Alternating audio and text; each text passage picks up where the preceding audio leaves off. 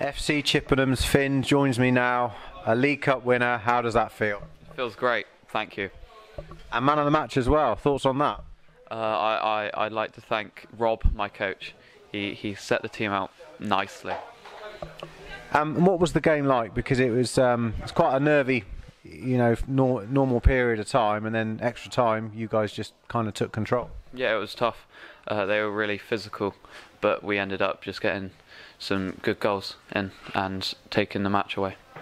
They, they scored very late on in extra time. Were you, were you ever worried they, they were going to get another one because they did have one more attack? No, none of us thought they had enough time.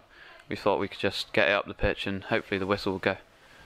And a few words on the weather conditions. It wasn't very nice out there. It was slippy uh, and really muddy. Not nice after the game. It was really cold. And what does this victory mean for the club? It's good. We didn't have a great season, but to get a cup, it was it was good.